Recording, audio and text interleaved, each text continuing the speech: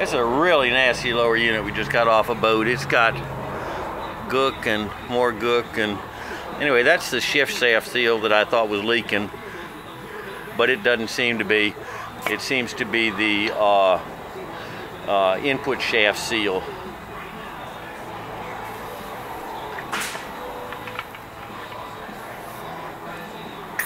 There it is. So we're going to fix that, and then hopefully we'll do another pressure check, and hopefully it doesn't leak.